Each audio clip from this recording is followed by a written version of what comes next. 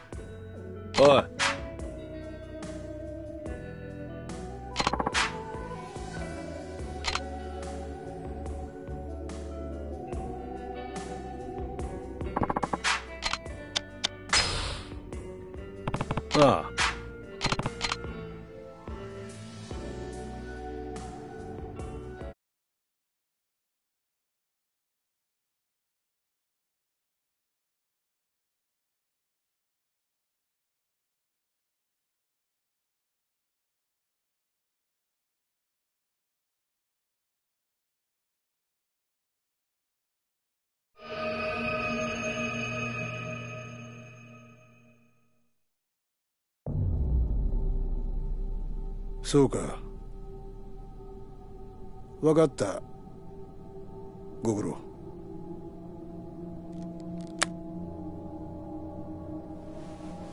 どうやら神田の組が四代目に勝ち込みかけられたらしい。それで組の上層部は壊滅状態。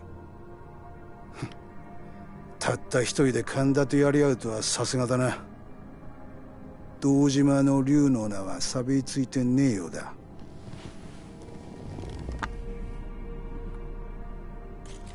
どうやら桐生さんは例の沖縄の一件で動いてるようだ。あんたがこの計画に乗ってるという情報を掴んでいるかもしれん。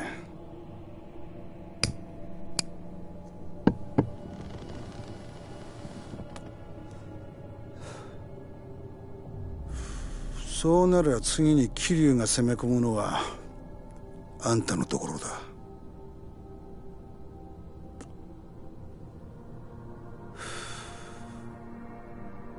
沖縄のリゾート計画。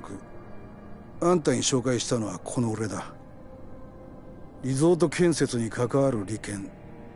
あんたの組に入る金は千億はくだらない。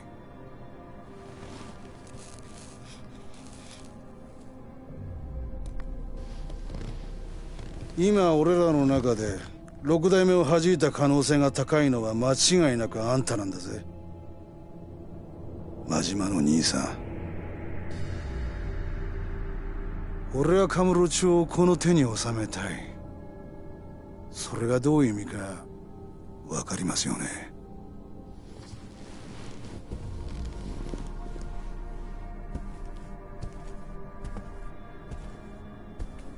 今桐生さんに暴られたら一番困るのはあんただ。やり方は任せます。後始末。しっかり頼みましたよ。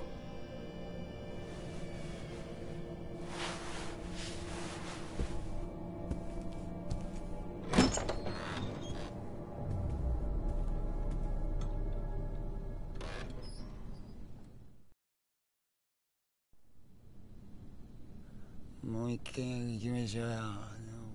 次はどこ連れてってくれるんですか？もう兄貴ももつ飲みましょうよ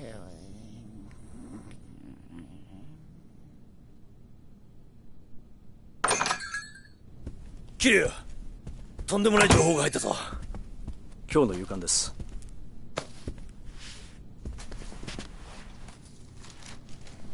うちの政治部のスクープです。ついに防衛大臣のタミヤが民事党と沖縄県議会をまとめたようなんです。つまり基地拡大法案の成立は確実ってことか。基地とリゾートはもともとワンセット。基地が動き出したことでリゾートの開発も一緒に動き出したってわけだな。これでどうしてリゾート開発が再開されたのかが分かりましたね。ところで桐生このリゾート開発裏でとんでもねえ奴が絡んでるようなんだ政治部の記者宛てに届いた情報です。匿名の情報筋からこんな写真が。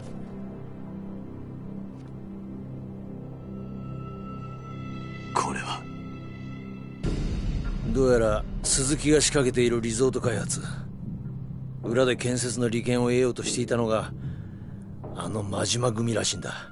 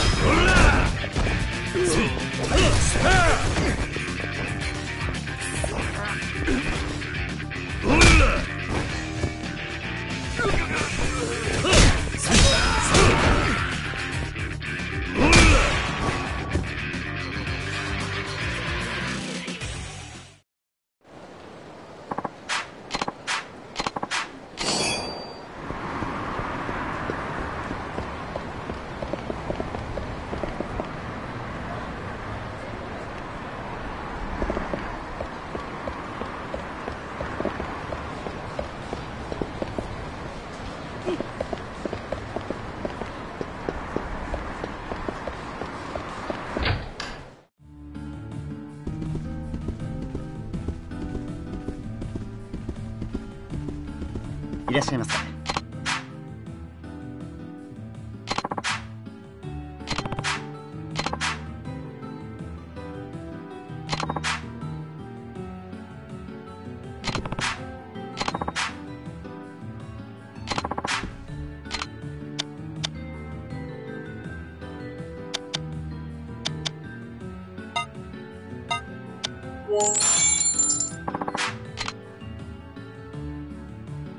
ありがとうございました。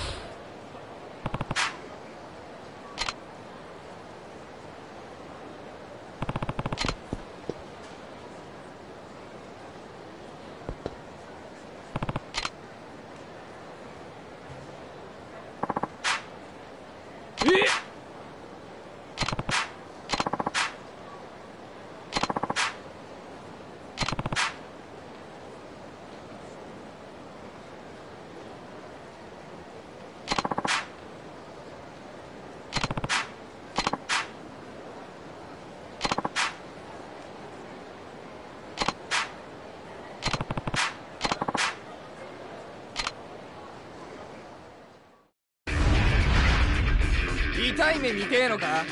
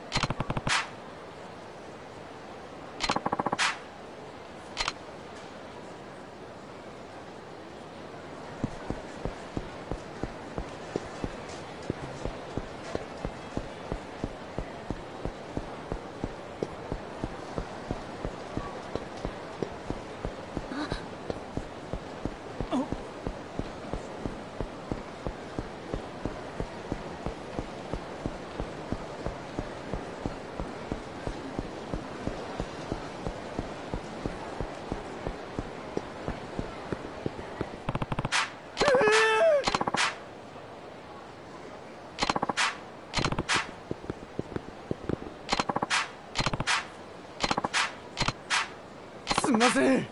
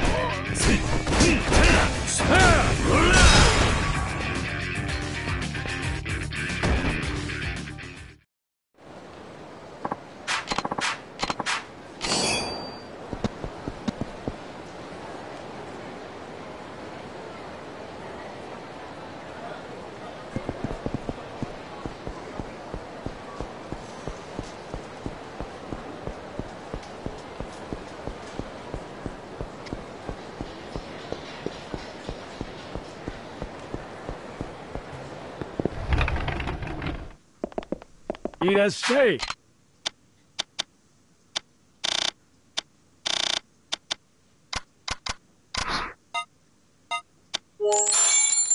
いらっしゃ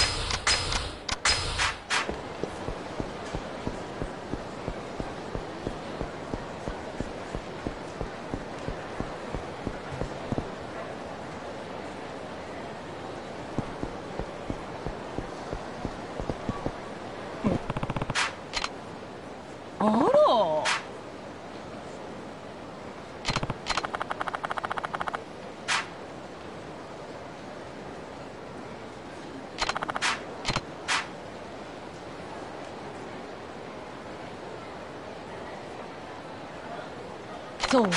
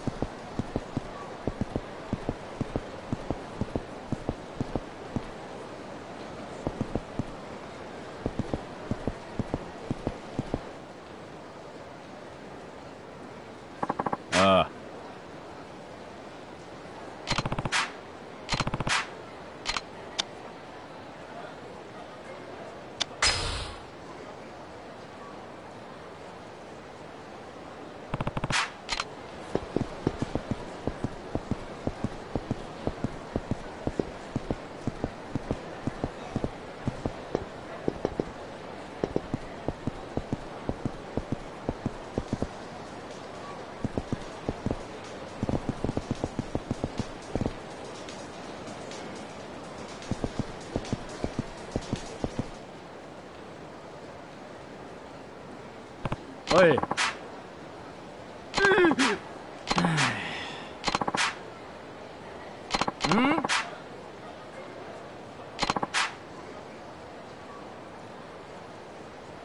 ん？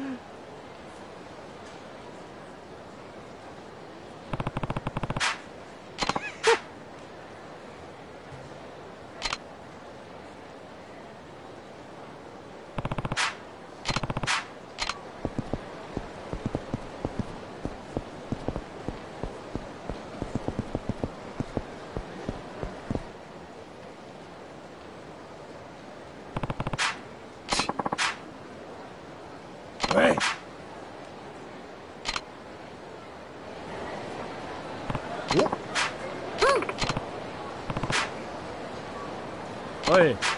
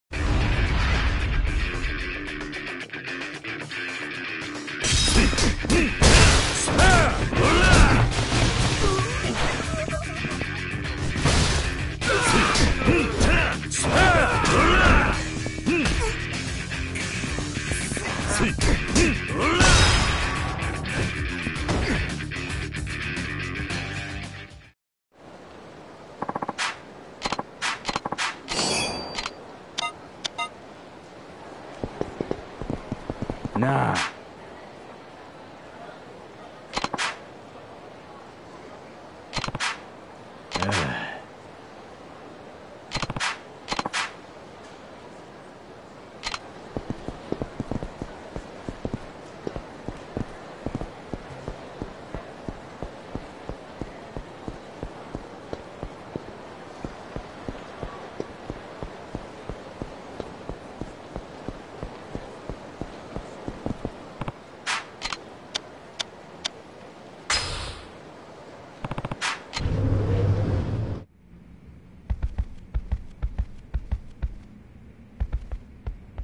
なんじゃ？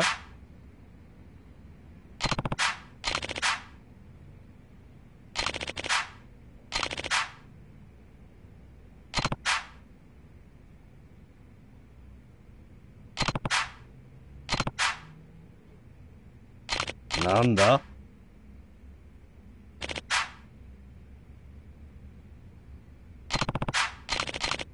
いかにも。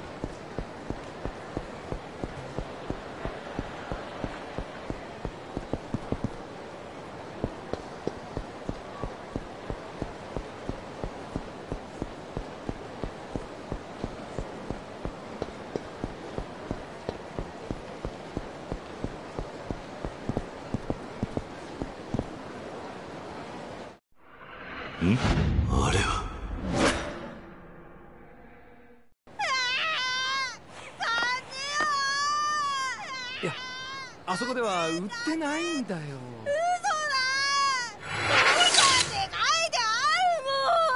あそこはそのおもちゃはおもちゃでもだな。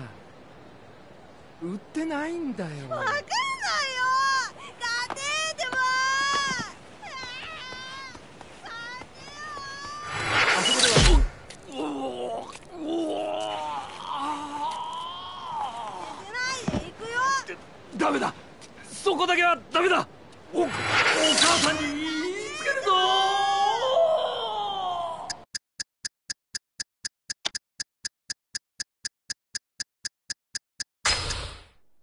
ひらめいた。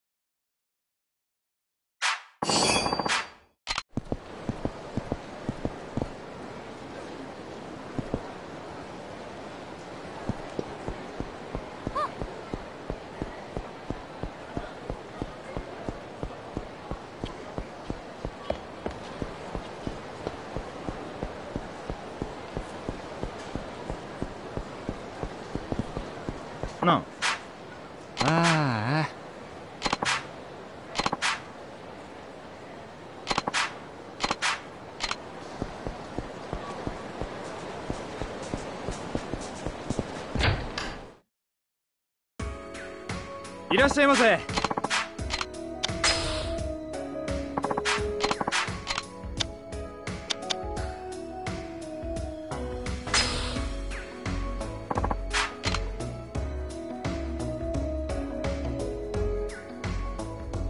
はじめまして。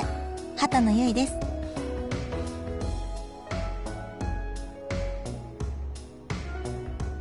ゆいです。よろしくお願いしますね。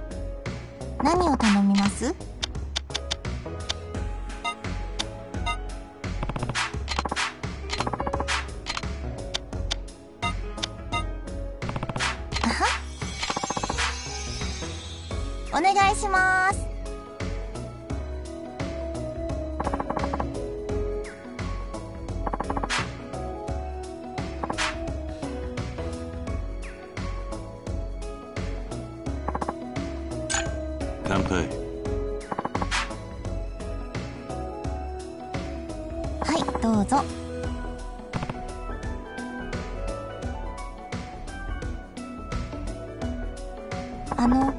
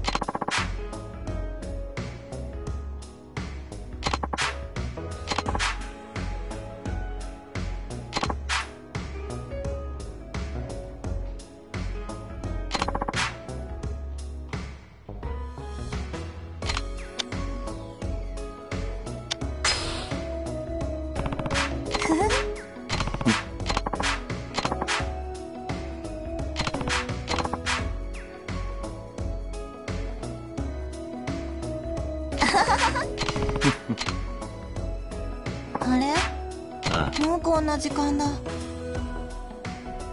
ゆいです。よろしくお願いしますね。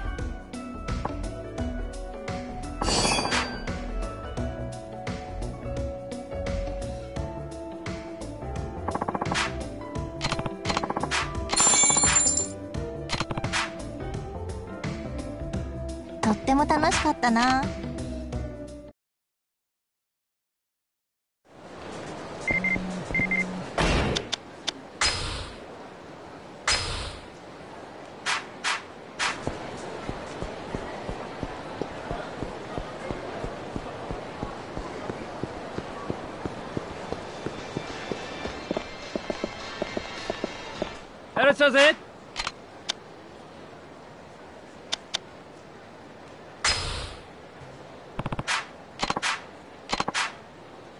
やらしたぜ。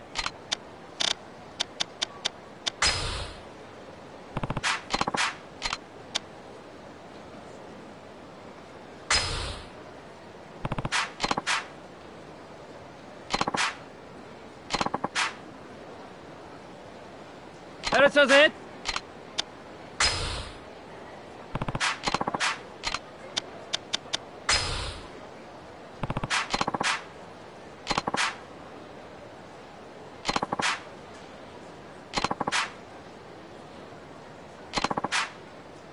That's it.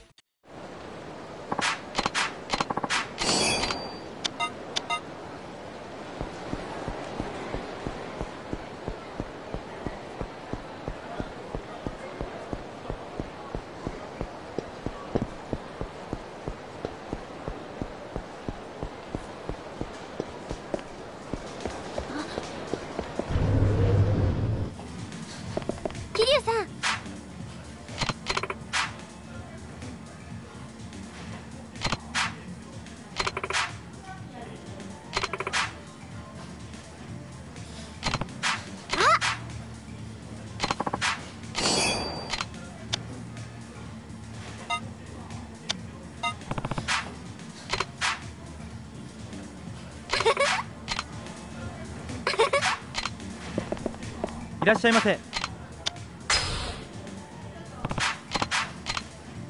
ありがとうございました。いらっしゃいませ。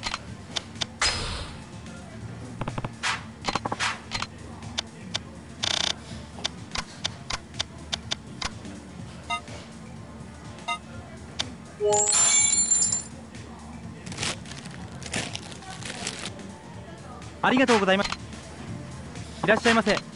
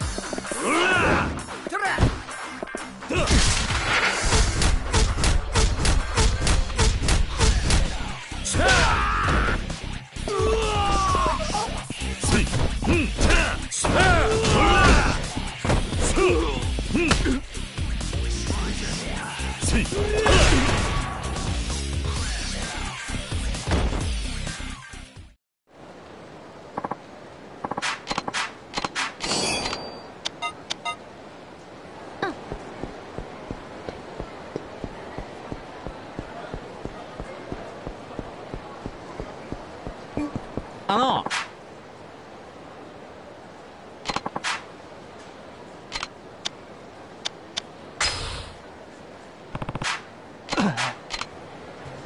いらっしゃいませ。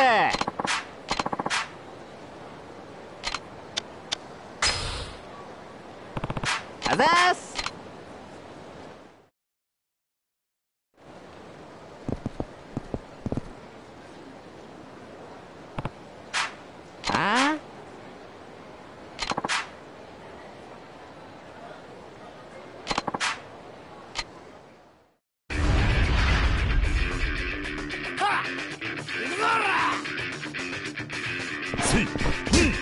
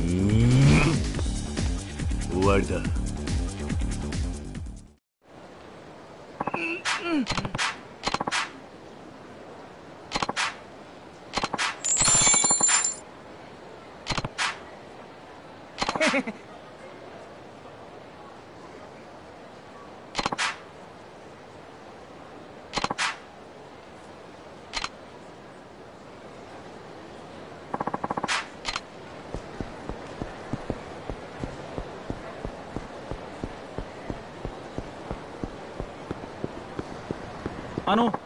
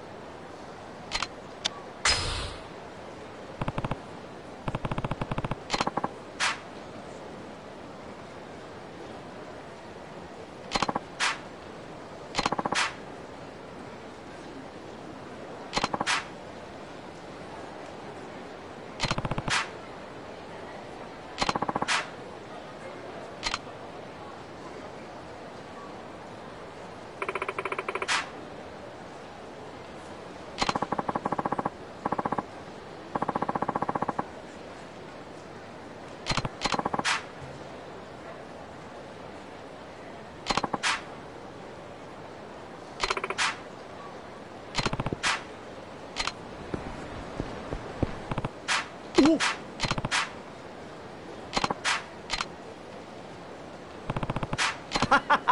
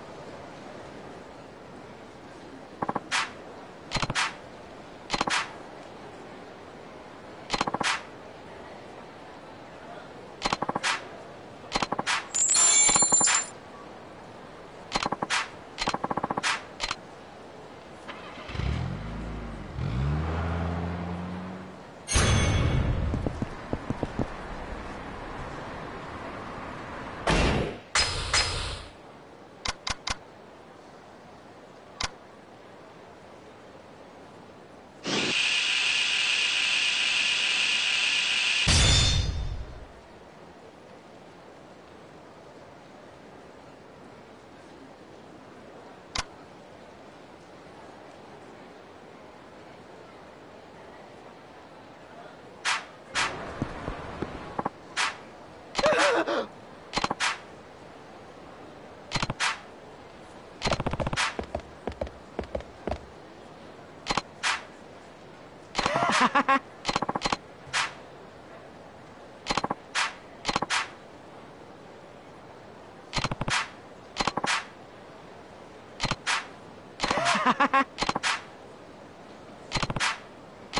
ha ha!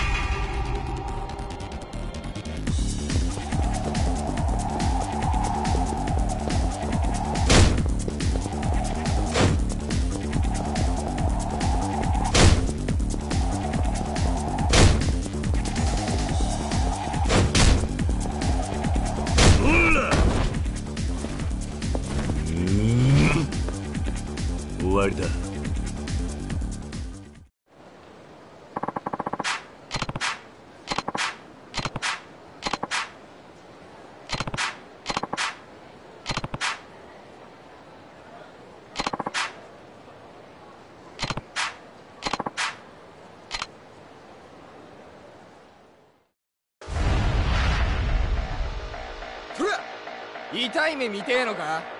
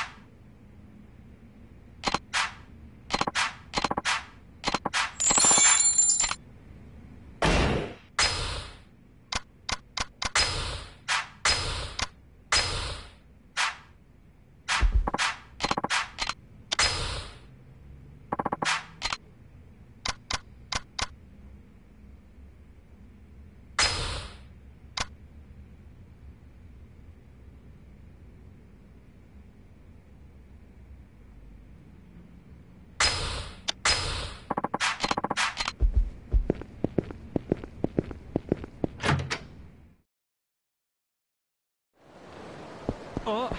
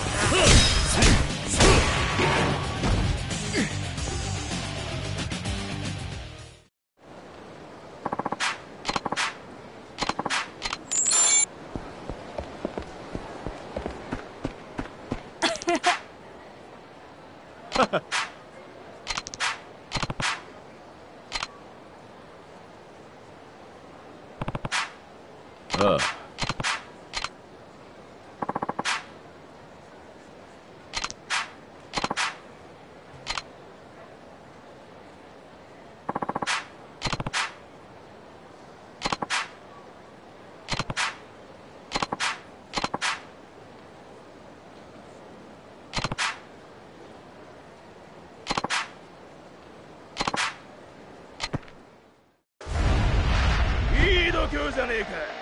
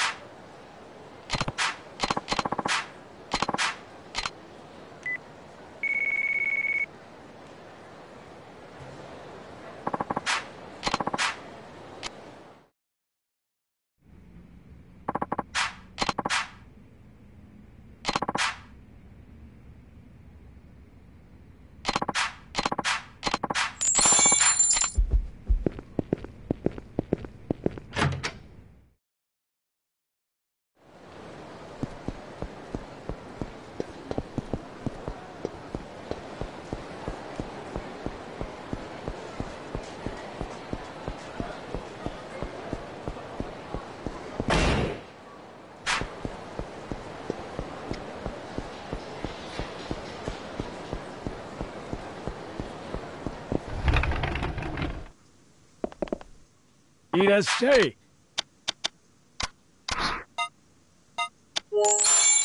ありがとうね。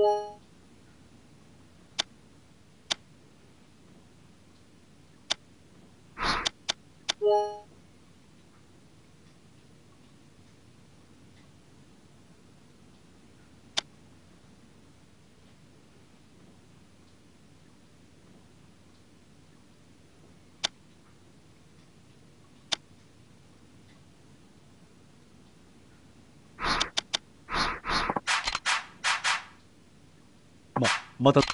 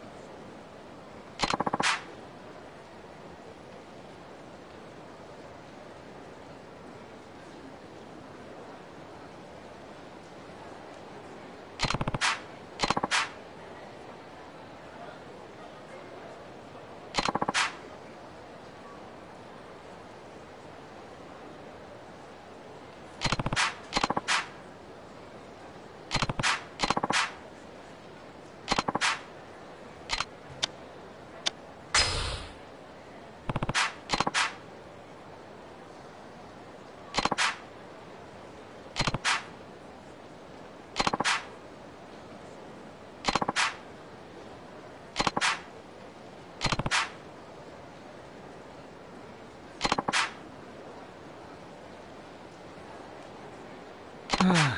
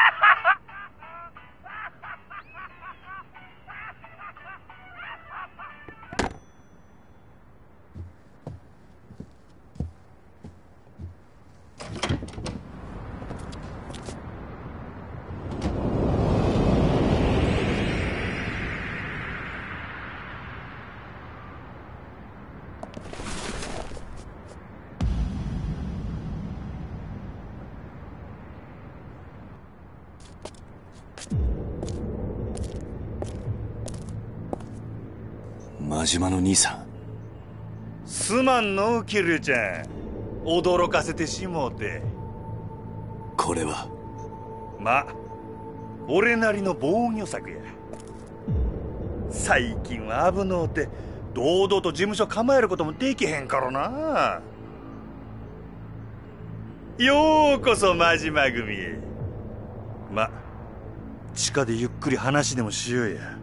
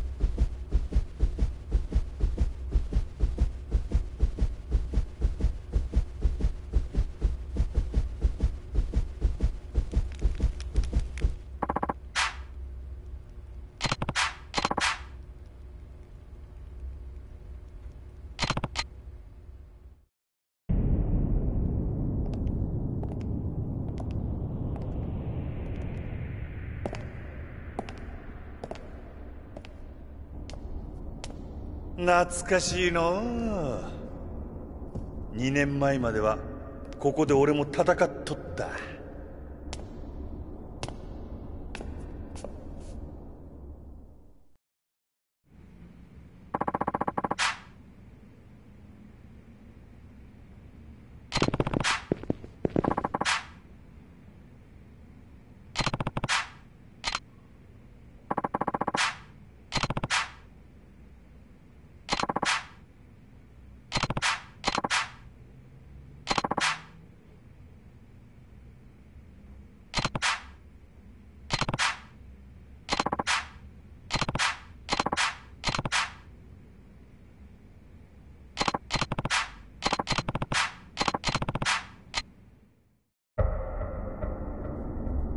桐生ちゃんよ。こんな俺にもな極道としての筋っちゅうもんがあるんや。たとえ俺がそいつにはめられたとしてもただで口割るようなことはできへん。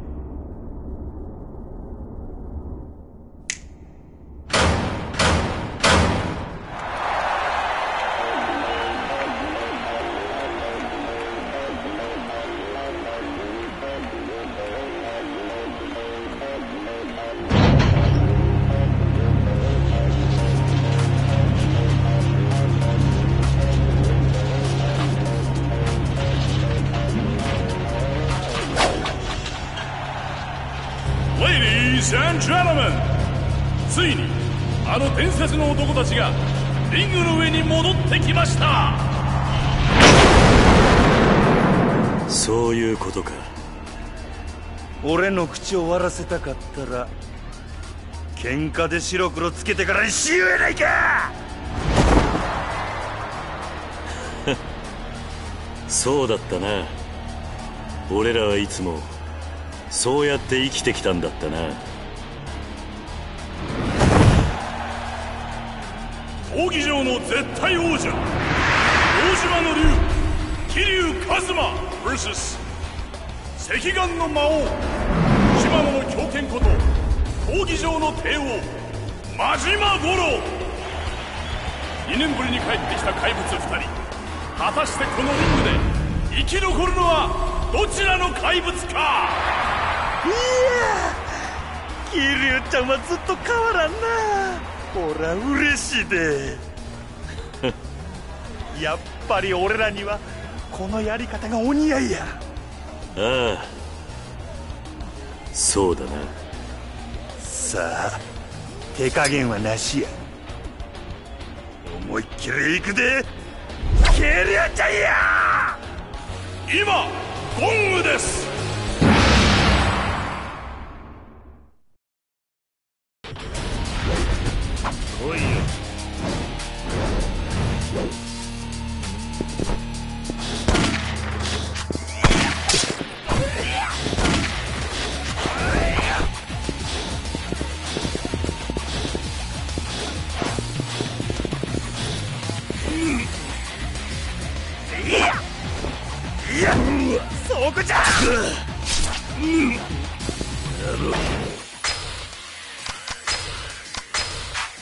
Seek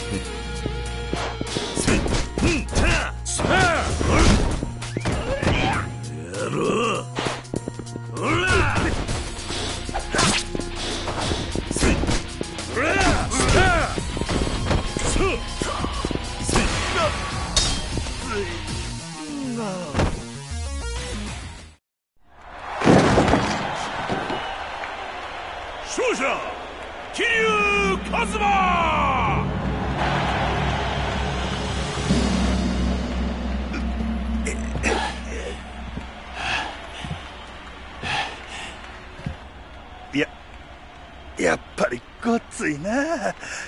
キリちゃんよ。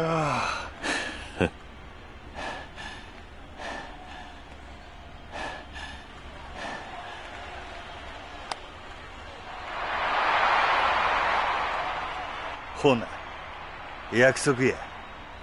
ゆっくり奥で話でもしようか。ああ。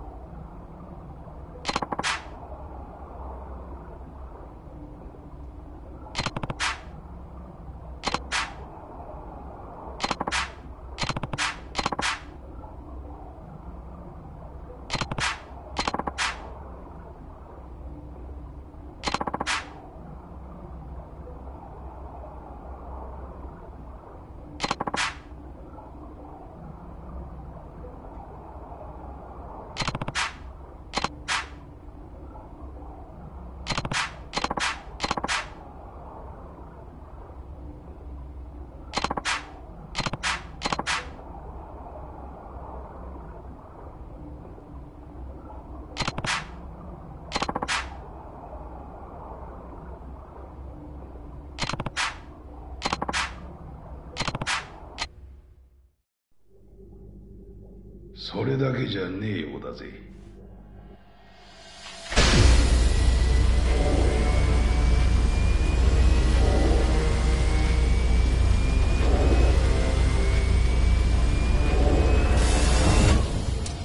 久しぶりじゃねえか桐生。花屋。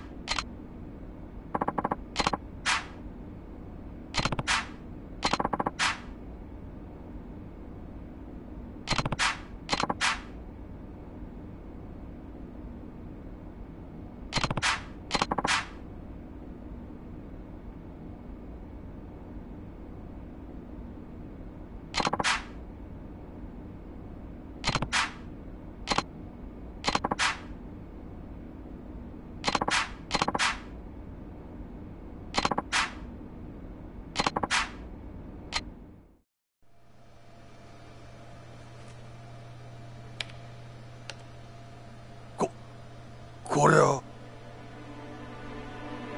驚いたか。まあお前にとっちゃ一番ゆかりのある人間に瓜二つだからな。何か匂うな。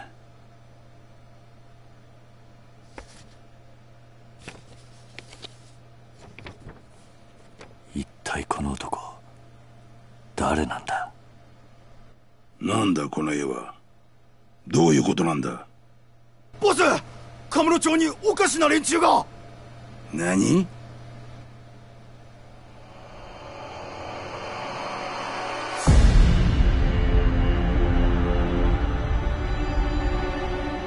ラウ・カーロ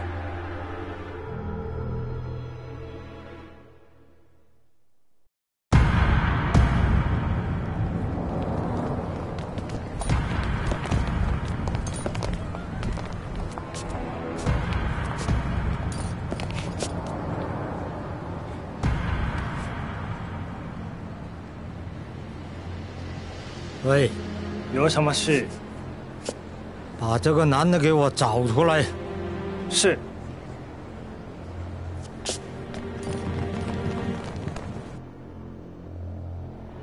桐生こいつは力也どうやらラウはジャカの連中を使ってお前の相方を探し回っているらしいな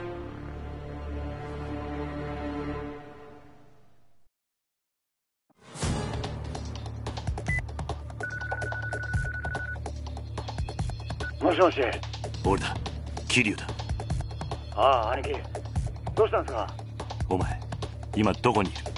え？いや起きたら兄貴がいなかったんで一人で街をぶらついてるんですけど。ああ。なんだあれ。どうした？力也何かあったのか？おい。誰だお前ら。うん？いや力也おい。力也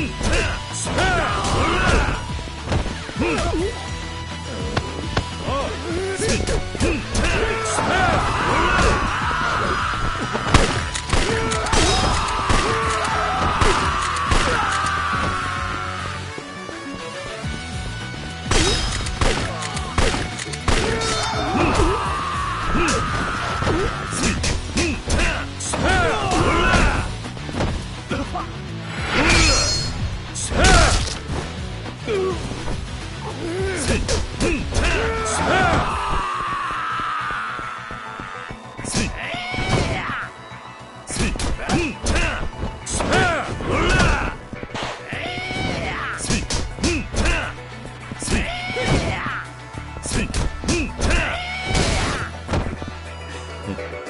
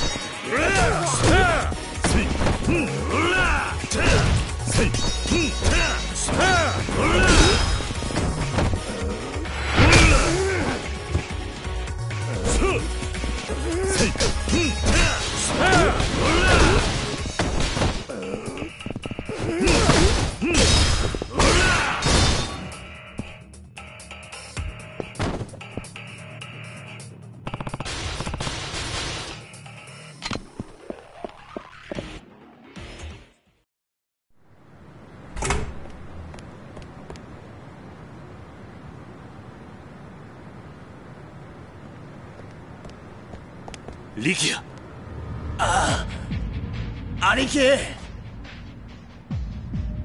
久しぶりだな。桐生一馬こうすればお前に会える。だからこいつさらったお前たちの目的は知ってる。その男は関係ない。今すぐ話せ。分かってないなお前は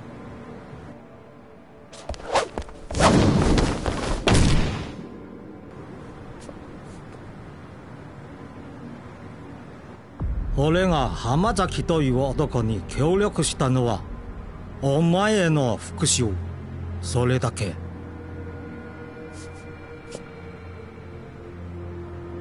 だから力也を。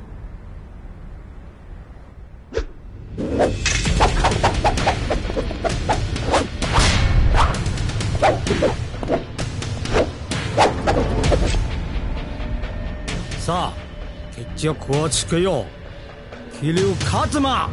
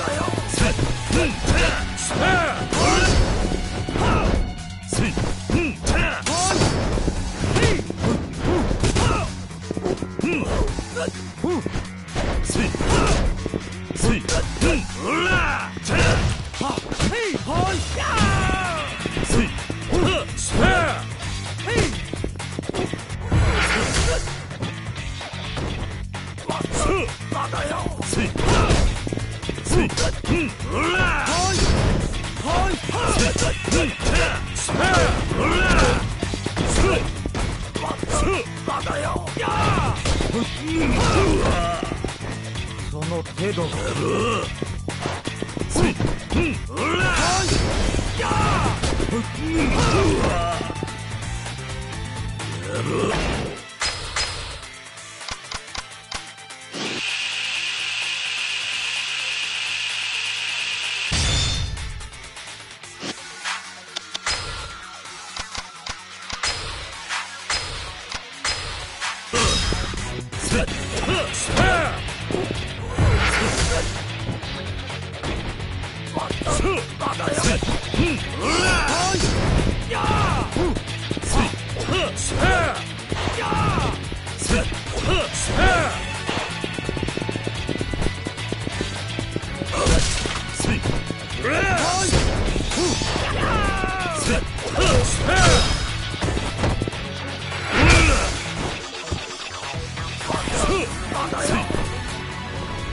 程度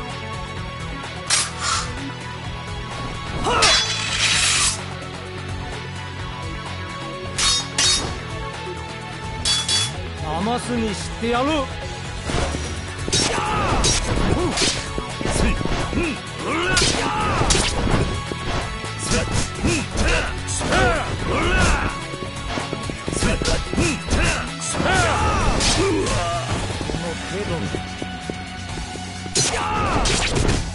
boy!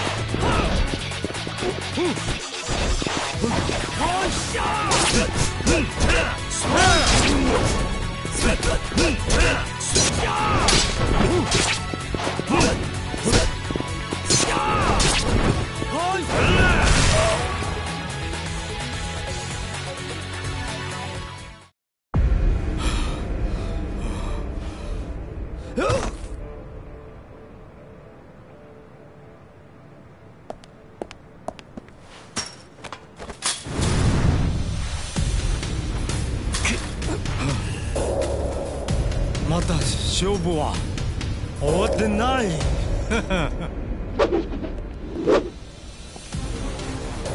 力也！兄貴さあ目の前であの男の首が飛ぶところを見ろ！力也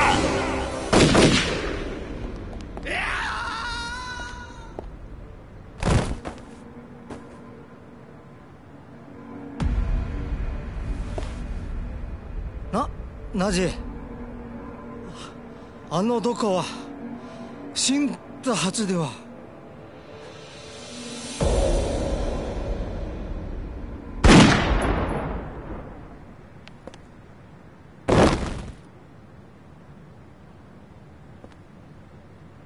おやっさあんたあんた風間のおやっさんじゃないのか。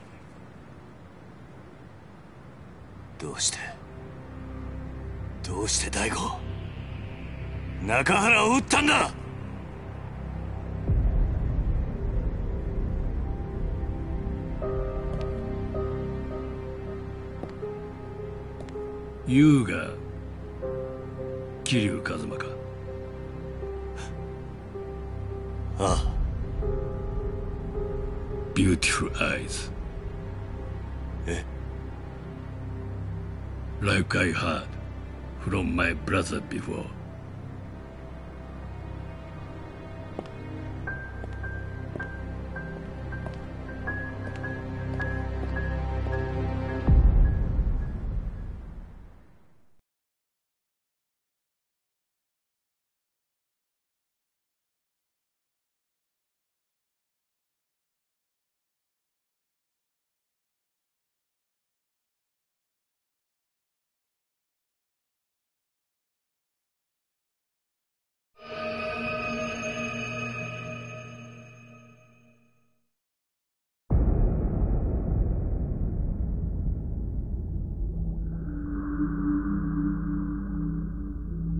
ほんまに風間の親父がそう言ったんか？ああ。うん。一体何が目的なんだ？事件に絡んでいることだけは間違いねえんだが。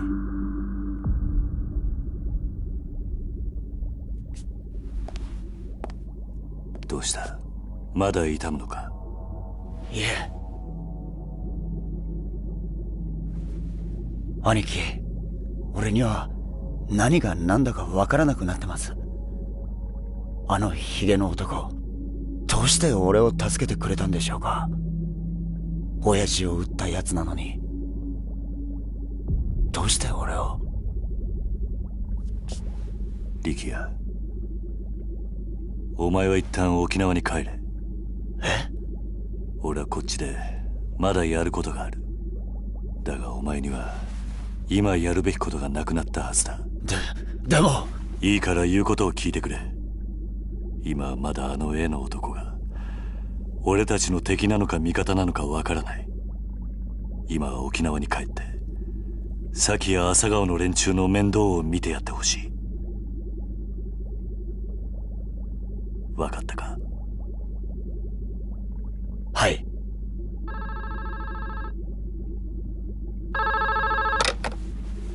どうした？何？白鵬会の会長が？おい桐生。どうも白鵬会の峰が直接お前に会いたいとここに来ているようなんだが。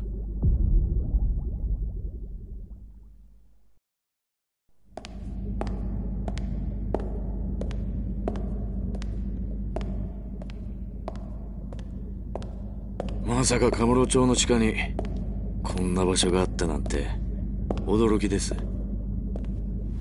それで俺に話とは？ああすみません。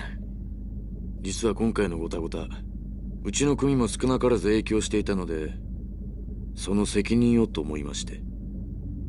責任？ええ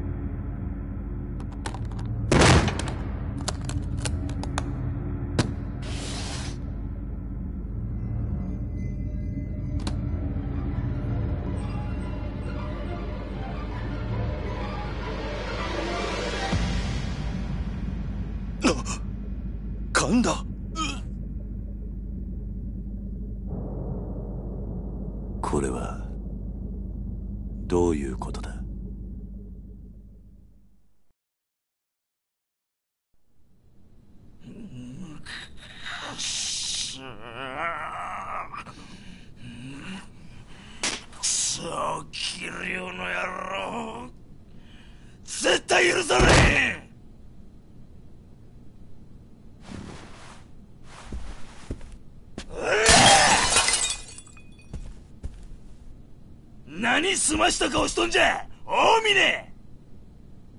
なんとか言うたらどうなんじゃ大倉兄貴ここはうちの事務所ですよ。少しは気遣ってください。しゃがいじゃボケ。己がチンタラしとるから桐生のアホがうちに攻め込んできたやろが。幹部会で言ったでしょ別に俺は桐生さんに牙向けるつもりはない。あなたが喧嘩ふっかけるようなことするからこんなことになるんですはあ己みたいな西洋かぶれの説教なんじゃ。聞きたないんじゃこら！おら！おら！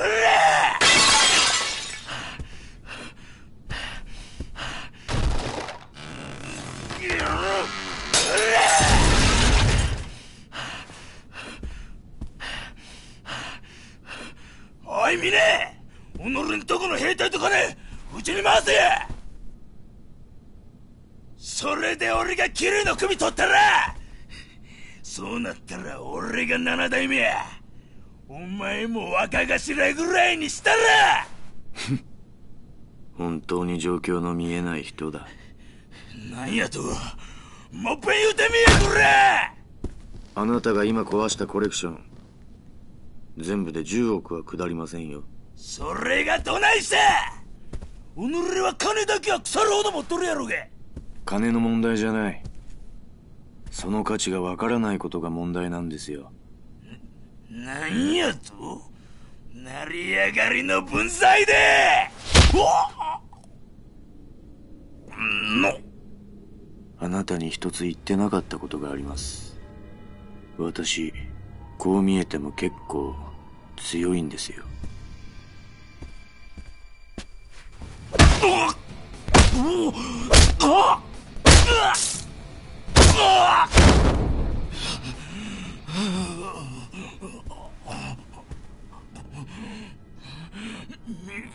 みねあんたとの縁もこれまでだ俺は桐生さんに義理通してきます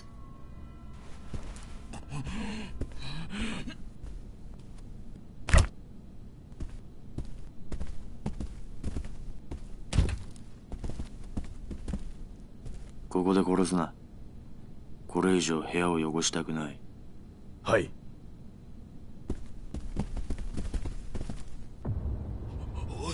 おいみねおいみねみね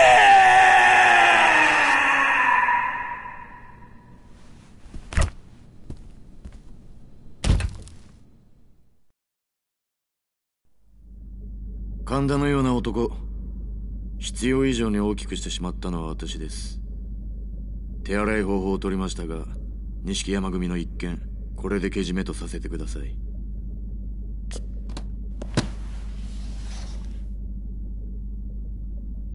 私は今のうちに登場会の直系を集めて事態の収拾を図ります。浜崎に関しても白鵬会で行方を追っています。まあ探したところで見つからないでしょうけど。奴の行き先に心当たりでもあるのか？ええ。おそらく日本にはいないでしょうね。どういうことだ？ジャカ日本支部の総統だったラウ・カーロンが死んだ。当然中国のジャカ本部は黙っちゃいません。ラウと共に行動していた浜崎は彼らの手によって拘束されているに違いありません浜崎以外の組員は横浜港から死体で上がったという話ですしね。ジャカが。どちらにしても白鵬会が手を出すまでもなく浜崎組は消滅するでしょう。私としては中国と戦争にならないようジャカ本部と早々に手打ちするつもりです。そうか。桐生さんは崩壊しかけた東上会にとって今一番必要な人です。くれぐれもお体にお気をつけて。それでは。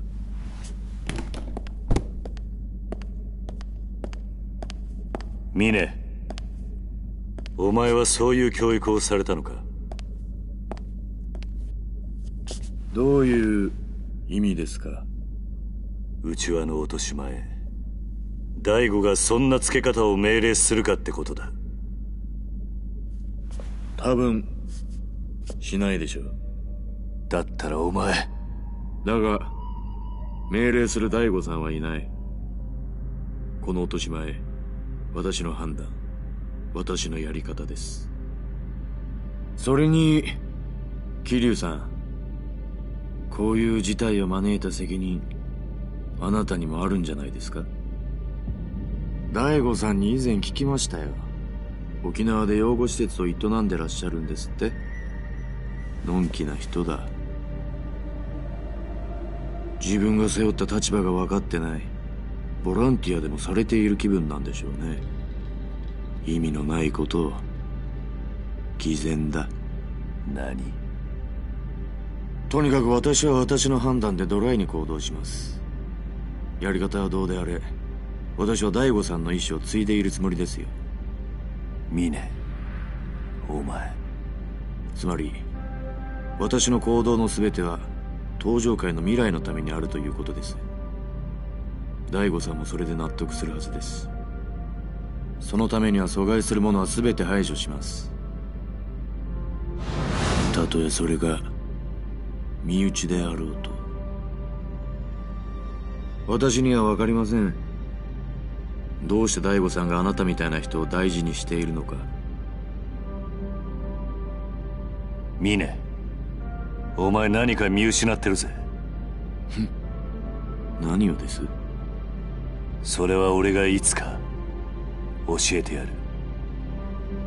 あなたから教わることなんか何もありませんよ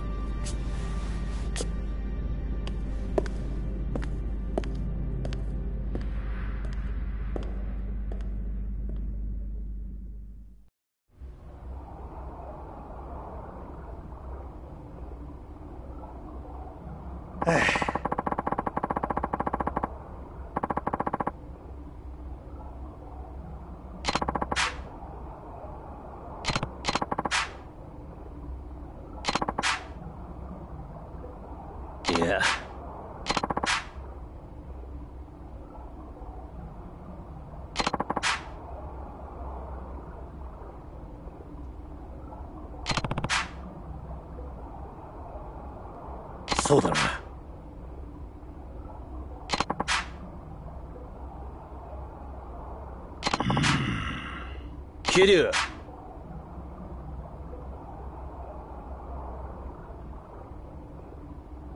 ああ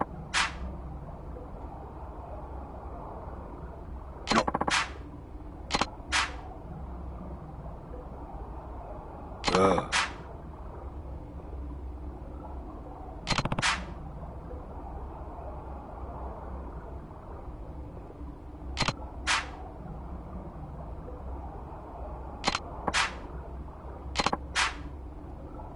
それじゃあなほな。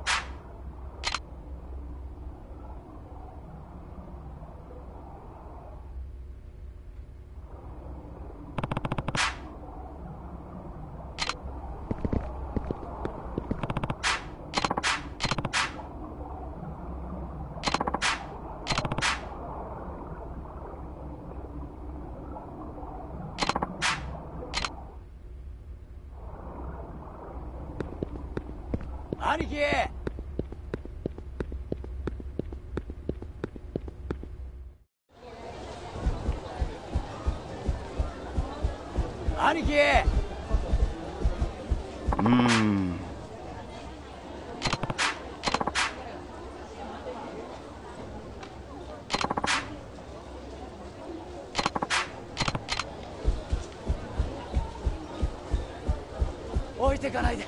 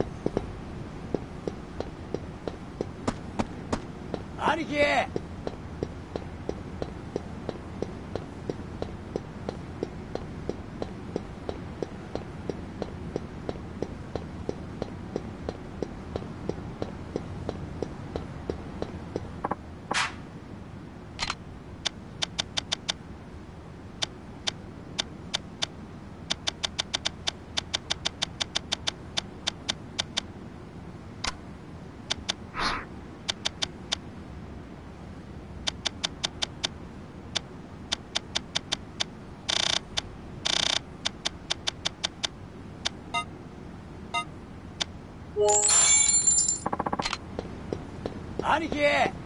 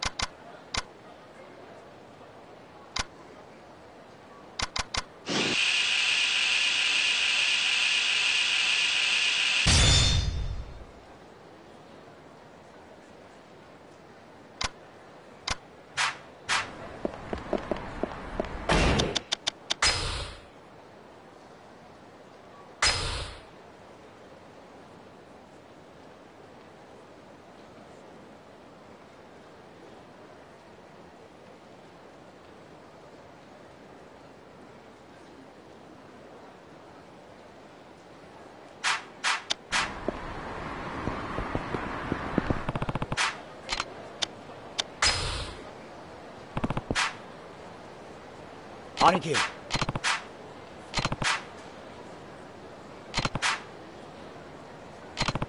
え。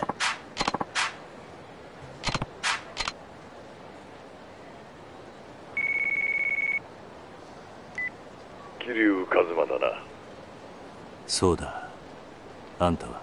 防衛大臣のタミヤだ。タミヤだと俺が沖縄の件で堂島大吾と関わりがあったということは知っているな。ああ。一年前にあんたの秘書の東馬から聞いている。そうか。だが堂島大吾が倒れた後東上会内部にいる鈴木とつながっていた勢力が再び動き出してしまった。それで俺は急いで BMD 基地拡大法案を通さなければならなくなった。どういうことだ？あんたが法案を通そうとしたからリゾート開発が再開したんじゃないのか。想定外の敵が仕掛けてきやがったんだよ。それで俺も動かざるを得なくなったんだ。それで一体俺に何の用なんだ。あんたに頼みたいことがある。リゾート開発を再び止めるということか。そうではない。だが結果的にはそうなる。何を言ってるんだ。リゾートと基地拡大はワンセットなんだろリゾートがなくなればあんたの法案も通らないぞ。ことはそんなに単純じゃないんだ。とにかくあんたがまだリゾートの土地買収を止めたいと思っているなら議事堂まで来てくれ。議事堂だと？いやミレニアムタワー前に迎えをやるからその車に乗って俺のところまで来てくれ。いいだろ俺もいろいろなことをはっきりさせたい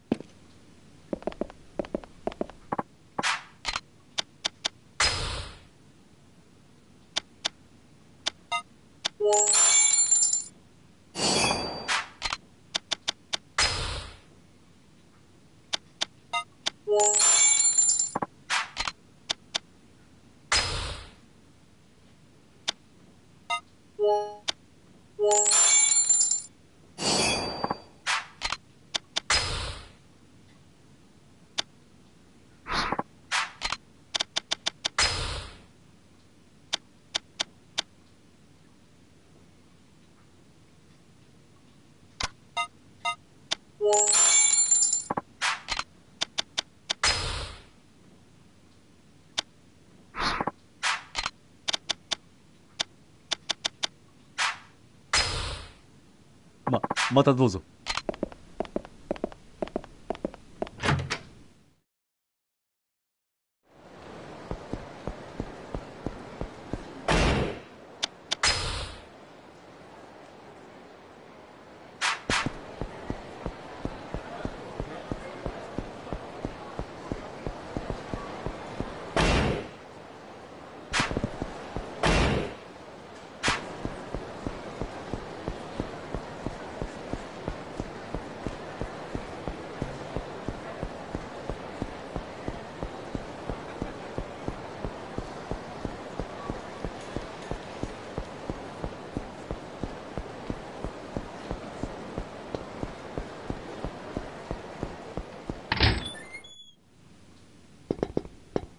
いらっしゃいませ。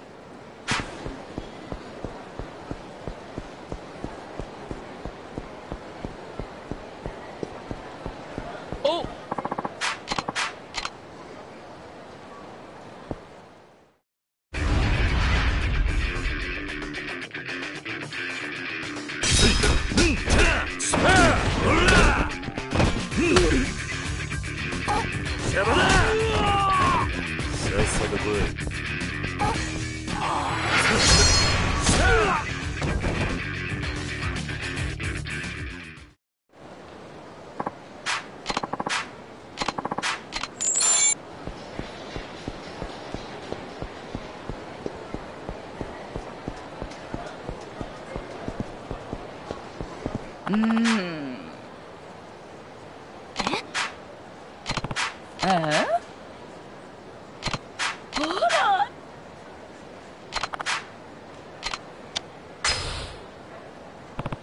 そう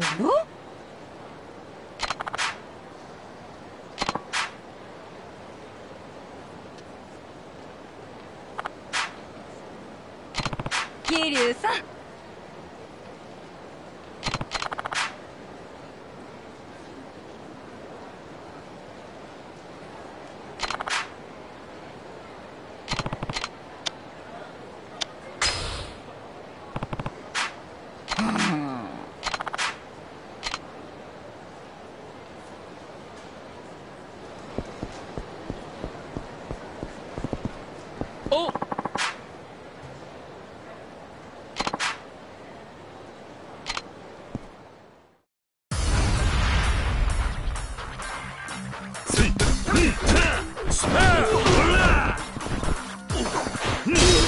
い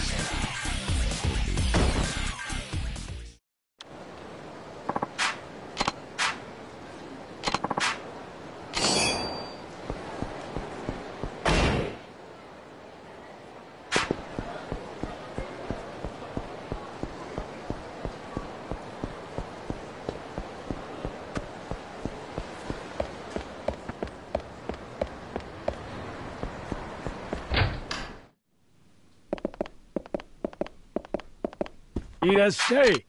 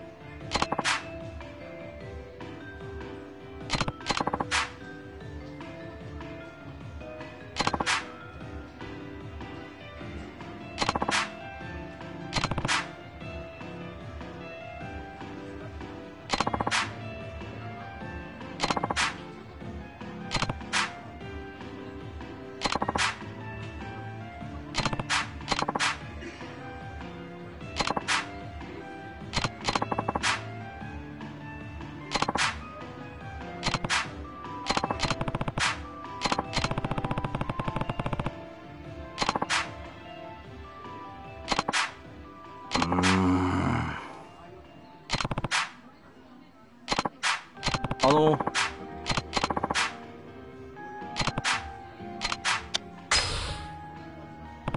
ありがとうございます。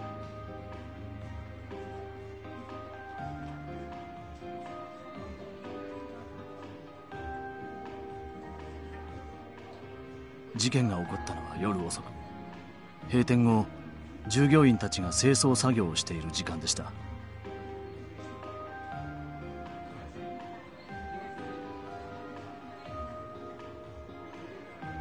事件の第一発見者はウェイターの木下さんという男性でした。当時この店のウェイターだった明智雄一さんは清掃作業の途中店の裏のゴミ捨て場に行こうとしました。その途中ロッカールームの前を通りかかった時雄一さんはその時ロッカールームの中では店長の小田さんとウェイトレスの宇佐美さんが抱き合っていました。その宇佐美という女性は雄一さんの恋人でした。雄一さんは恋人の浮気げ怒った雄一さんはロッカールームの中に入りその頃ウェイターの木下さんは雄一さんがなかなか戻ってこないことを不審にすると木直後木下さんはロッカールームのドアが開いていることに気づき警察の調べによると死因は頭部だ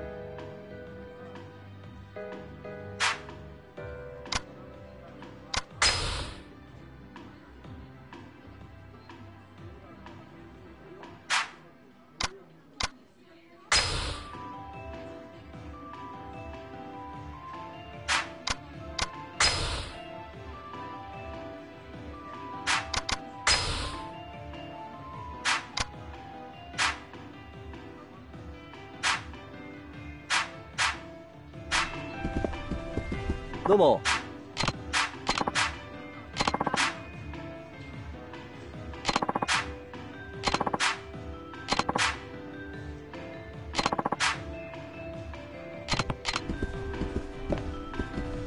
いらっしゃいませ。ありがとうございました。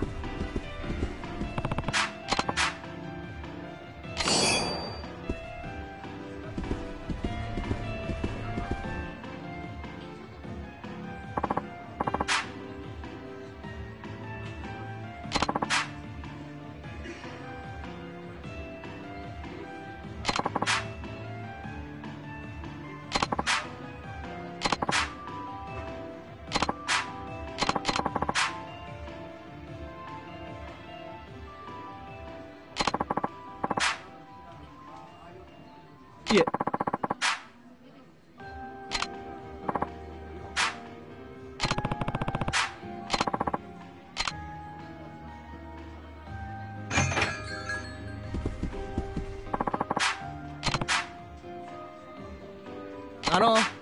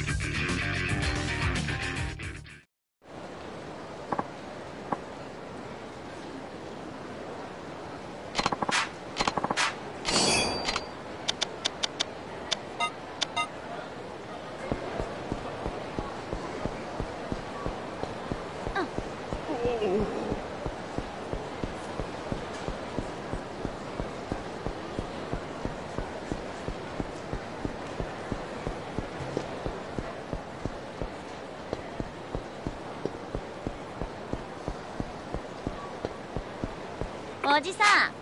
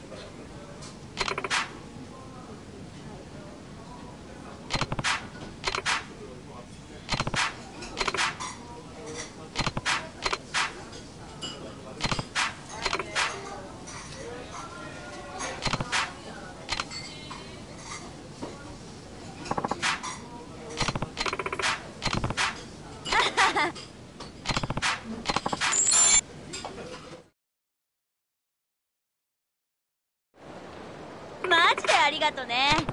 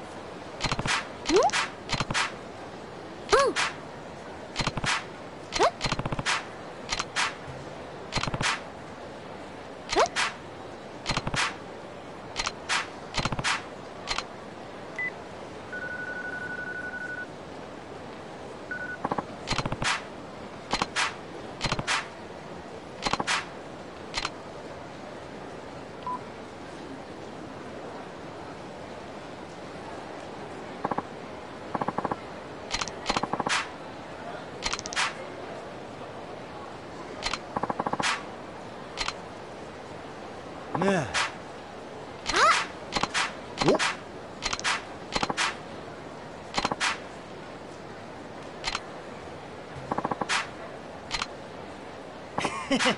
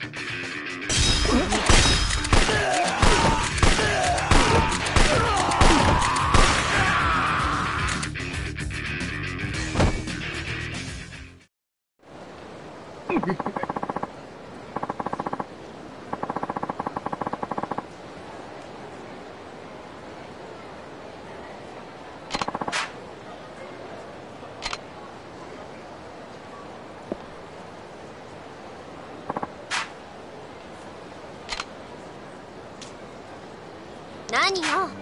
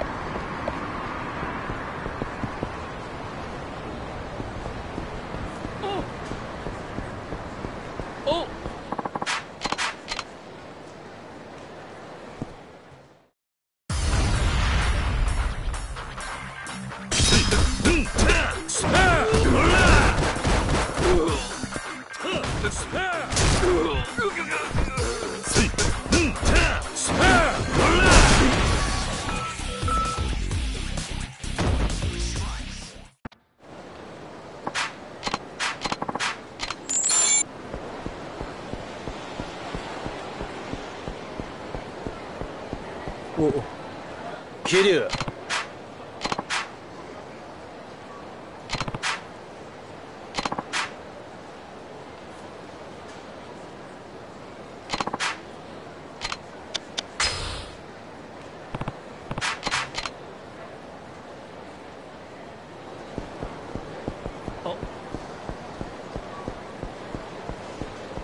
おい桐生。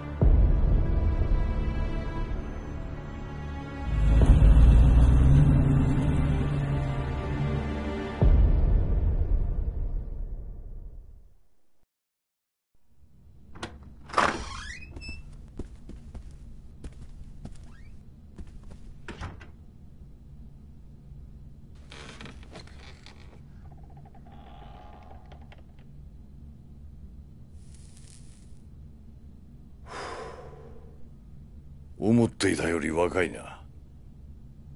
そっちは？京浜新聞社の伊達だ。鈴木と東上会の癒着を追っていた。ふん。あの有名な元刑事の分野か。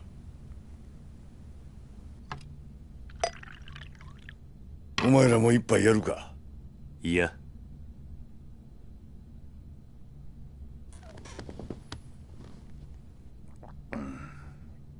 お前沖縄の例のリゾート予定地で養護施設をやってるんだってな。ああ。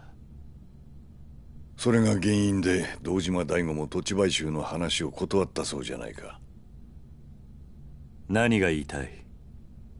お前とこの民谷隆三互いに利害が一致してるってことだ。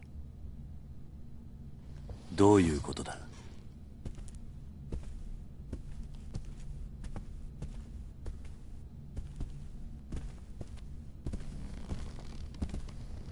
お前はあのリゾート開発が止まればいいと思っている。ああそうだ。俺もあのリゾート開発が止まればいいと思っている。なんだと？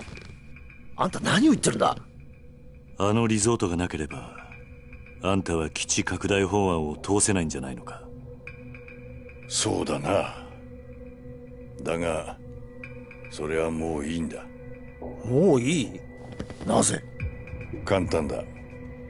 あの法案俺は初めから通す気がなかったからだ。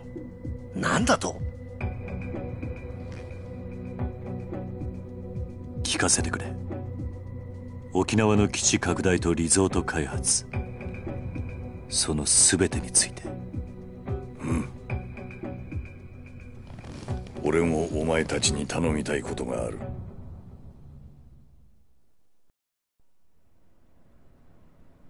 何を聞きたいんだ？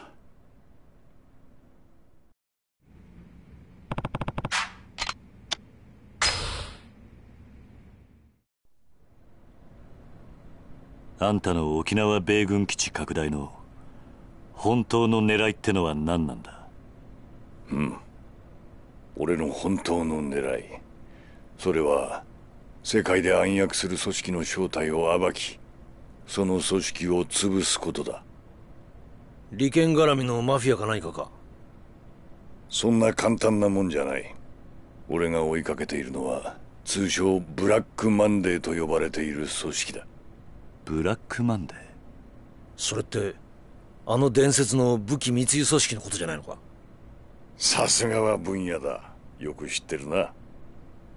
1987年あの世界大恐慌の引き金になったニューヨーク株式市場の株価大暴落を裏で操っていたとさえ言われる武器商人アンドレ・リチャードソンを中心とした武器密輸集団通称ブラックマンデー。俺はその正体を知るためにあの沖縄米軍基地拡大を仕掛けた。ブラックマンデーの正体を知るためだと？どういうことだ？知っての通り基地拡大の最大の目的は日米で共同開発する BMD の配備だ。その開発の裏では超単位の金が動いている。設計図だけでもとてつもない価値を秘めているんだ。とてつもない価値？日本の最先端の技術とアメリカの兵器開発のノウハウの結晶。沖縄の基地拡大法案による新 BMD 配備は他のどの国が逆立ちしても売ることができない。最強の防衛兵器の誕生を意味する。実現すれば中東を含めたアジア一帯の国々は今後十数年日本に手出しすることはできない。そんなものが沖縄に。日米共同開発の BMD は世界の防衛バランスを変えるほどの代物なんだ。と一応世界的にはそういうことになっている。一応だと？ああそうだ。そういった風評があることが重要だったんだ。どういうことだ？世界最新の兵器開発。それを欲しがる奴らが動き出すってことだ。まさかその欲しがってる奴ってのがブラックマンデーその通り世界中に武器を売りつける武器密輸組織ってのは常に最先端の技術を欲している。もしその技術が日米以外の国に流れたら世界の防衛バランスを崩壊させるほどの技術奴らが指を加えたまま見ているはずがない。新 BMD はブラックマンデーをおびき出すための餌ってことか。沖縄の基地拡大法案はあくまでそのブラックマンデーってやつを誘い出すためのダミーだったと。ダミーとはいえ俺は本気で法案を通す形が必要だった。そのために俺は鈴木にリゾートの話を提案し奴に利権を一手に渡すと持ちかけ基地拡大法案とセットの形で進めてきた。つまり俺以外全ての国民を騙す必要があったんだ。そのくらいのことをしなければならなかったんだよ。だがあんたはもう法案を通す気がないと言ったな。それはつまり。ああようやくブラックマンデーの尻尾をつかむことができたというわけだ。じゃああんたの目的は花から鈴木との総裁選にはなかったってことか？そんなものは小っぱの政治家気取りが欲しがるもんだ。俺には全く興味がない。うん。だがアメリカも関わるほどの大掛かりな作戦あんた一人で実行できるもんじゃねえだろ。その通りだ。それについても話しておかなければならんな。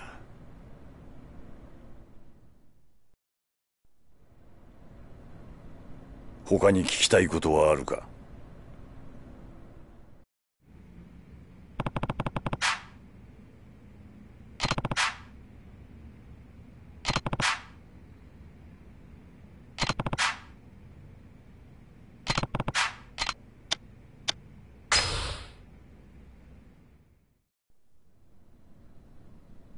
大悟を撃った犯人を知らないか？それは俺にもわからん。そうか。あの風間に似てるって男のことか？素性も目的もさっぱりだからな。ああ。待て風間だと？そいつが堂島大吾を撃ったのか？何か知っているのか？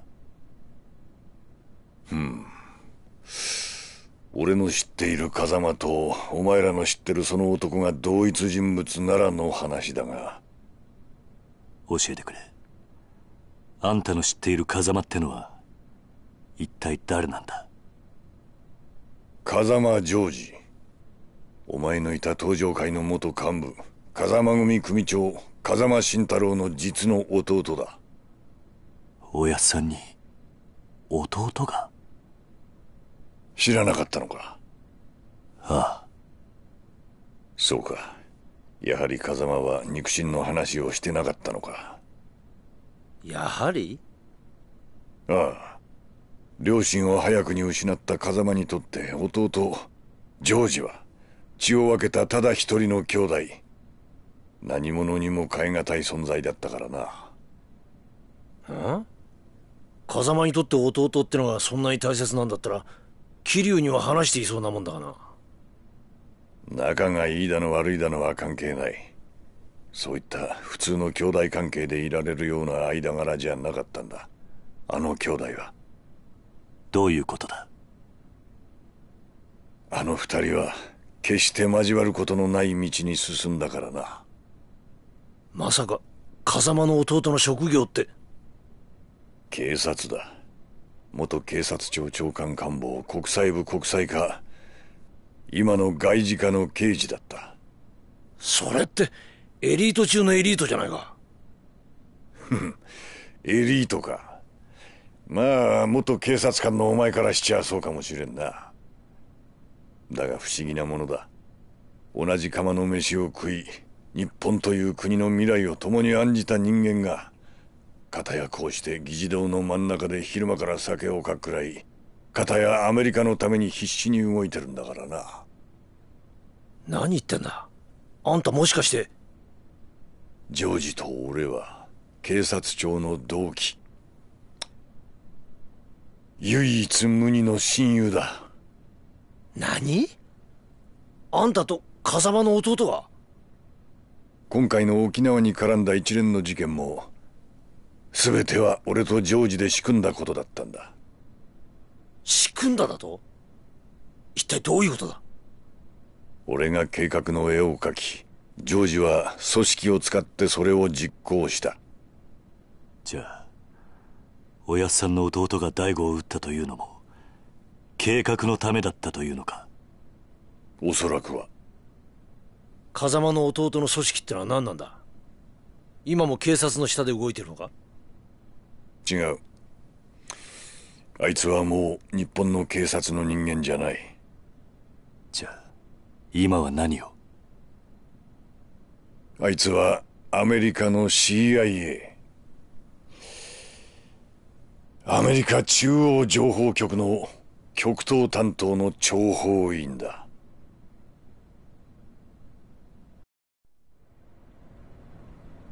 他に聞きたいことはあるか？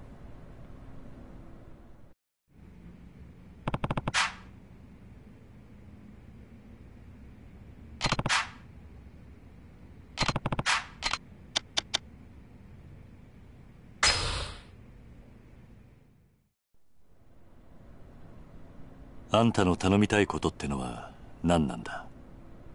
二人の男を救ってやってほしい。誰なんだ？そいつらは。一人は俺の秘書だった男トーマ。秘書だったってなんで過去形なんだ？トーマは2週間前勝手に俺の秘書を辞めたよ。どうしてだ？トーマは俺の基地拡大法案の裏にある本当の狙いを知ってしまった。だからリゾート開発計画を動かせる男にすり寄った。それは誰だ？極道だよ何？東上会直系白鵬会会長峰義高だ。峰が？おいそれはどういうことなんだ？こうなった以上東馬から峰に秘密が漏れる危険が高い。その前にあいつは東馬の口を封じようと動くはずだ。あいつ？それがあんたの言うもう一人の男か。そうだそうならないようあんたに止めてほしいんだ。その男とは？風間ジョージだ。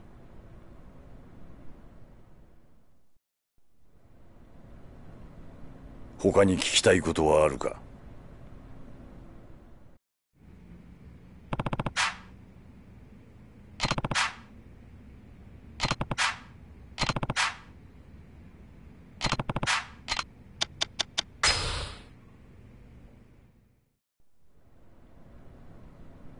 風間のおやっさんの実の弟。その男が CIA の諜報員として日本で活動していると。例の武器密輸組織。CIA はあれを追いかけている。俺はジョージと協力してブラックマンデーの尻尾を掴んで潰そうとしているんだ。じゃあ風間の弟は日本の警察を辞め CIA に入り今はアメリカのために活動していると。ああ。だがそんな奴がどうして次々と謎の発砲を繰り返すようなことしたんだ？やはり大悟や中原といった人間を撃ったのはおやっさんの弟なのか？わからん。だがその可能性が高い。なぜそんなことを？今回の一件 CIA の諜報員への命令は1沖縄をめぐる基地拡大法案に絡んだブラックマンデーの動向を探ること。2そのために障害となる対象はそのことごとくを排除すること。排除だ？その任務のために土地買収を断った人間を撃ったと。ああ。だが CIA の諜報員はジョージだけじゃないすでにお前も何度か命を狙われているはずだ。まさかあの黒スーツの男たち。そうお前を襲った外国人は皆 CIA が手を回した諜報員だ。お前は沖縄のリゾート開発を中止させようと動いていたからな。それじゃもしかして柏木を撃ったのも。CIA だおやっさんの弟はどうしてどうして日本人なのにそこまでして。ジョージにとって CIA は己の生きてきた人生の全てだ。全て？お前らに話してもわかるまいが今から30年前日本という保守的な国家で警察官の肉親に極道関係者がいるとなればそれだけで迫害を受ける時代だった。ジョージは実の兄が極道しかも東上会という大組織の顔役であることが原因で自分の正義を貫くことすらできず警察を去った。そんなジョージに手を差し伸べたのがアメリカという国だった。能力があれば国籍や人種を問わない自由の国でジョージは新たな人生を手に入れたんだ。だから CIA のためならばどんなことでもやると。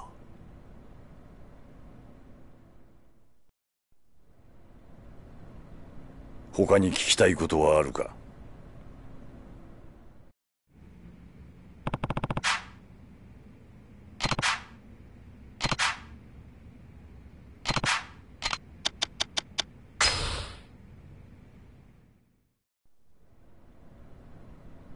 東馬が基地拡大法案を通過させるためにリゾート開発の土地買収を頼んだ先があの峰だというのか。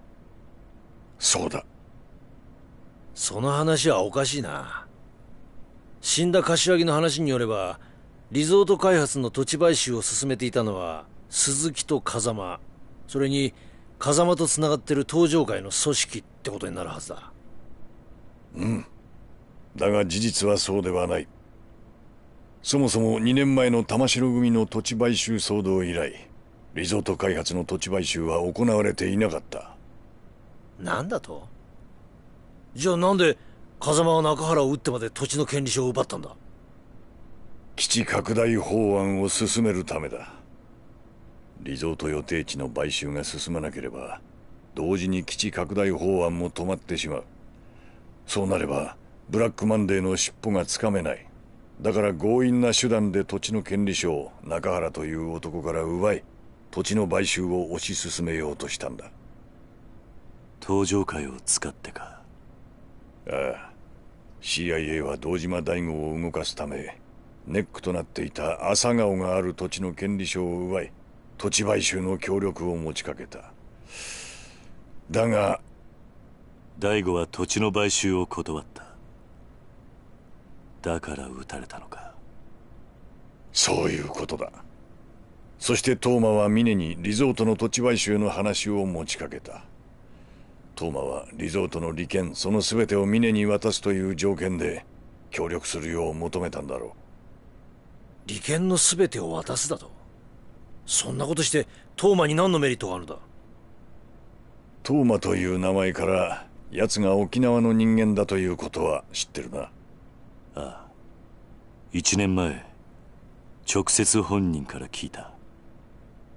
今から3年前トーマは沖縄の発展を夢見て政治の世界へと足を踏み入れた。そこでトーマは沖縄の米軍基地拡大とリゾート計画のことを知り沖縄のためになるならと喜んで働いた。あいつは沖縄を豊かにしたいと話していた。トーマの目的は最初から沖縄の発展しかない。あいつは1年前にリゾートの土地買収とヤクザがつながってることが発覚しそうになった時にも基地拡大まで共倒れにならないよう俺を登場界の堂島に引き合わせ丸く収めさせた。だがあいつは初めから基地拡大のことはどうでもよくてリゾート開発計画のことしか頭になかったんだ。じゃあトーマは堂島大吾とあんたを引き合わせた時に登場界の連中峰とも知り合ったというのか？だが奴は1年経って法案がフェイクであることを知ってしまった。だから強硬に土地買収を進められる力を求めて白崩壊にすり寄っていった。トーマと峰は互いの利害が一致して手を組んだんだ。なるほどなだがあれだけ六代目に忠実だった峰が登場界を裏切ろうとしていたとはな。峰という男はよくわからん。今回の一連の騒動で登場界の事実上のトップはあの男のはずだ。黙っていればより上のポストが約束されているのに何を考えているのか。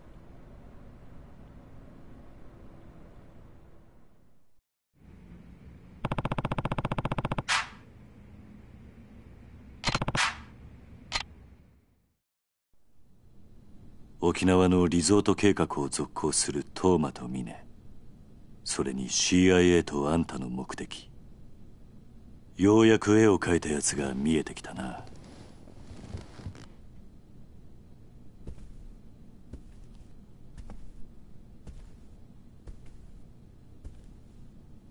ジョージを止めてくれ。止める ?CIA の任務を止めろというのか？そうだトーマを守ってやってほしい。どうして CIA はトーマを殺す必要があるんだ？奴は知りすぎたんだ。この法案の裏に CIA が関与していることも。そして法案がフェイクだということもな。じゃあ CIA はそのことを封印するために？ああ俺はトーマを殺したくはない。できればあの二人を助けてやりたいんだ。でもトーマはあんたの計画を邪魔した男だろ。どうして今になってかばうようなこと強い信念を持った人間はいずれ大きな志を抱く。そしてそれを実現する。俺の恩師が教えてくれたことだトーマは純粋でまっすぐだ。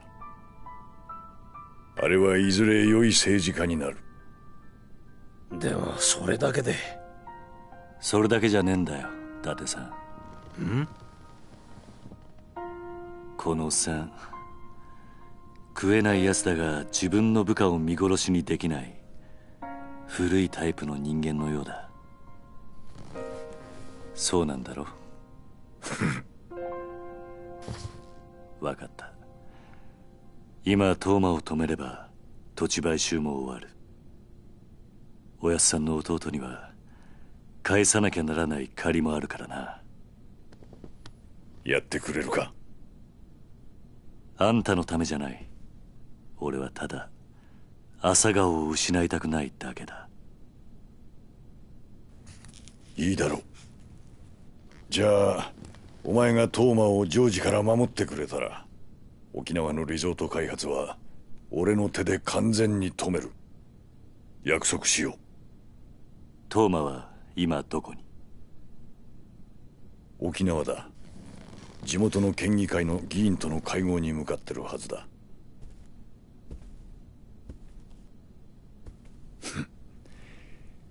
日本の極道にもまだこんな男がいたとはなだが問題はここからだ。ん何かあったのか？鈴木の SP だ。何？すでにトーマが手を回していたようだ。どうする？桐生。行くしかないんだろうな。そうなんだろう。ああそうだ。行くしかない。あの SP とやらどこまでやっていいんだ？あの SP はあくまで鈴木の紙幣。好きに暴れて構わん。暴れた責任は取ってやる。一つ聞きたいんだが。なんだ？あんた興味ないって言っていたが政治家ってのは皆総理大臣になりたいもんなんじゃないのか？じゃあ逆に聞くが組長ってのはなりたいと言ってなるものなのか？トップとは何かをなしそれを積み重ねてきた人間がいつの間にか勝手になってるものだろう。違うか？確かにな。よし。行くか。ああ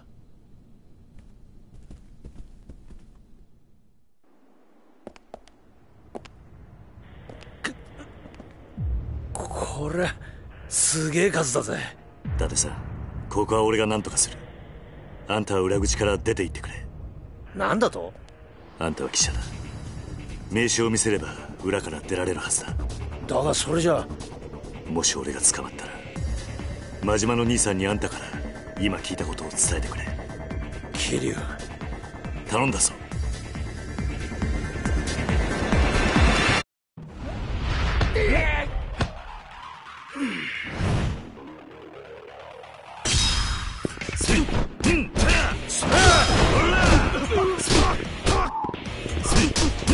Yeah!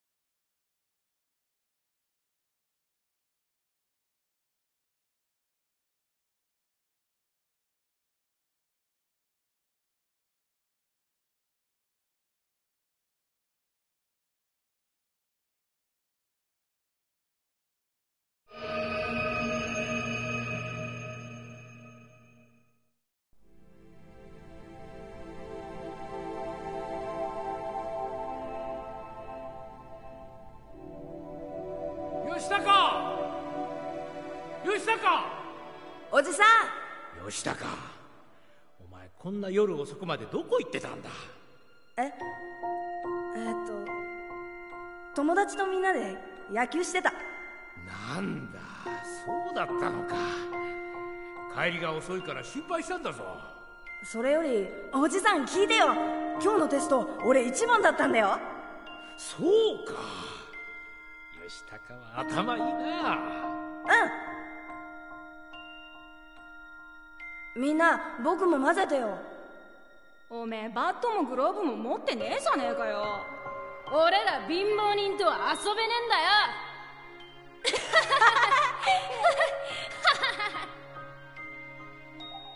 おじさんねえ起きてよ。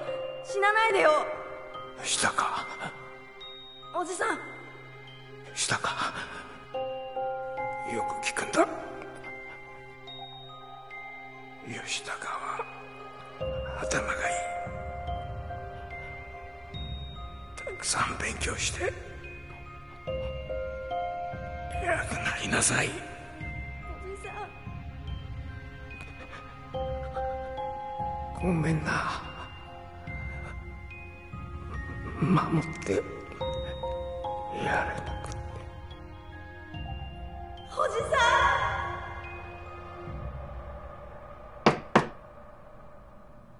誰だ？片瀬です入れ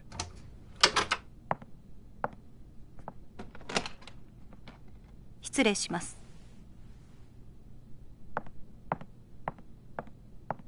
沖縄行きの飛行機手配いたしました。1時間半後羽田発です。分かった。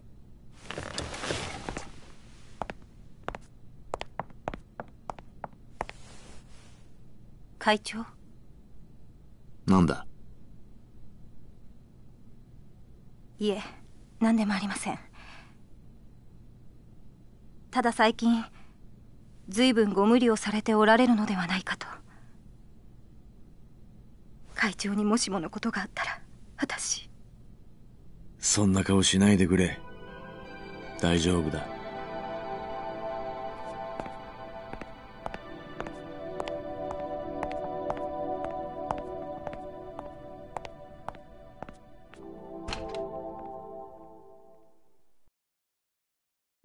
昨日国会議事堂前で起こった一連の騒動に関し警察の見解では沖縄の基地拡大法案に反対する団体の仕業との見方が強まっています。首謀者の行方は依然としてつかめておらず引き続き捜索が行われているとのこと消してくれ。警察は今後国会議事堂周辺の警備を強化するととも